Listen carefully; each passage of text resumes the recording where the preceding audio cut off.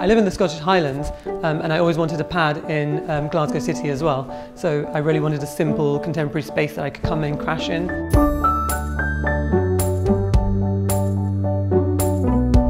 I'm Ballal from Glasgow and I live with my whippet Towsy. I brought this property a couple of years back and there was a really dated kitchen and because it's all open plan and it was all on display, I really felt it deserved a beautiful new kitchen. I really wanted to go for a bit of a traditional painted look, but also quite contemporary at the same time.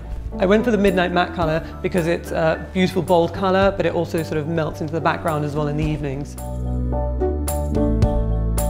The Glasgow showroom's great loads of examples of great kitchens and I instantly fell in love with this one. Ross, the designer, was really fantastic. He um, guided us through the whole process. It was really very smooth from the beginning to the end. Once I decided on the colour of the units, um, it was really handy to have a sample that I could just take around and um, place beside all the different worktops.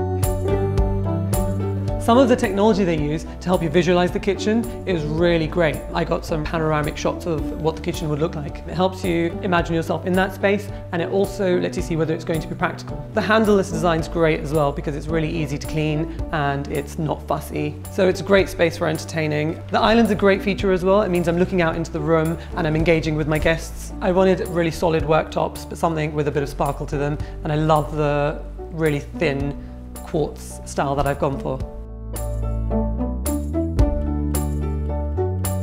Working in an apartment where there's a limited space, I really wanted everything to be sort of hidden away. I've got a lot of storage space in there as well. It's very cleverly designed and there's so much work surface so I can really spread out.